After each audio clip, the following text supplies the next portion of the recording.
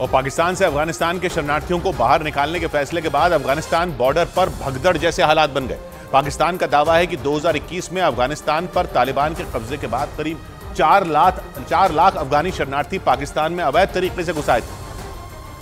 और आरोप है कि अफ़गानिस्तान से आए शरणार्थी आतंकियों की मदद करने के साथ आतंकी घटनाओं को अंजाम भी देते हैं। पाकिस्तान का दावा है कि इसी वजह से आतंकी संगठन टीटीपी यानी तहरीके तालिबान पाकिस्तान के हमले बढ़ते जा रहे हैं। वहाँ की मीडिया का दावा है कि इसीलिए पाकिस्तान सरकार ने अफ़गानिस्तान के शरणार्थियों को बाहर निकालने का फैसला ले लिया। जिससे अफ़गानिस्तान के लोग दहशत में आ गए। अफ़गानिस्तान पाकिस्तान बॉर्डर के पास रह रहे शरणार्थियों के बीच तो अफ़गानिस्तान लौटने की होड़ लग गई। वहाँ से आए एक वीडियो में कई लोग अपने परिवार के साथ अफ़गानिस्तान जाने के लिए बस का इंतज़ार करते नज़र आए, क्योंकि दावा ये किया जा रहा है कि पाकिस्तान किसी भी कीमत पर टीटीपी के हमले बर्दाश्त नहीं करने वाला और इसीलिए उसने अपनी सीमा को सुरक्षित करने के लिए एक कदम उठाया। और पाकिस्तान के मीडिया ने दावा किया कि अफ़गानिस्तान के शरणार्थियों को निकालने के मुद्दे पर पाकिस्तान की सरकार ने अमेरिका से भी संपर्क किया।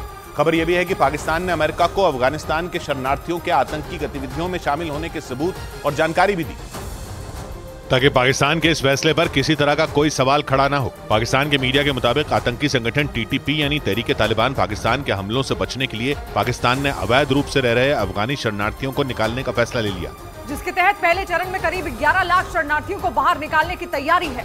लेकिन पाकिस्तान के मीडिया का दावा है कि इस पर आगे बढ़ने से पहले वहाँ की सरकार ने अमेरिका से भी संपर्क साधा। इस दौरान पाकिस्तान ने अमेरिका को अफगानी शरणार्थियों के आतंकी गतिविधियों में शामिल होने के सबूत दिए। खबर यह भी है कि अमेरिका ने भी पाकिस्तान के फैसले पर सहमति जता दी। पाकिस्तान का दावा है कि उसे ये कदम मजबूरी में उठाना पड़ रहा है, क्योंकि तालिबान किसी भी कीमत पर टीटीपी के खिलाफ कार्रवाई करने के लिए तैयार नहीं थे।